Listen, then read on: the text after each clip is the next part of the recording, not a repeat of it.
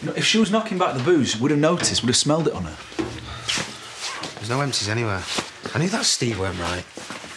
No, I'm not going through personal stuff. It feels wrong. Aaron, just do it.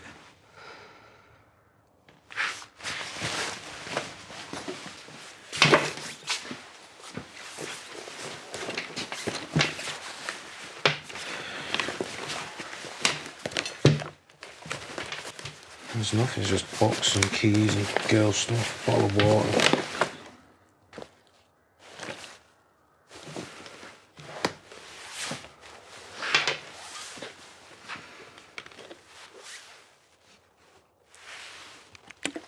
Mm. That's vodka. Pure vodka.